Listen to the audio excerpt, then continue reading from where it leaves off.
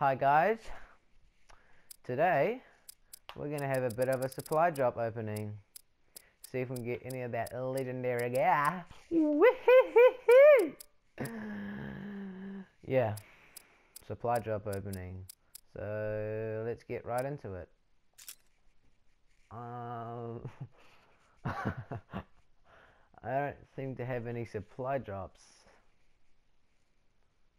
So, okay, catch you later, guys. See you later, guys. Um,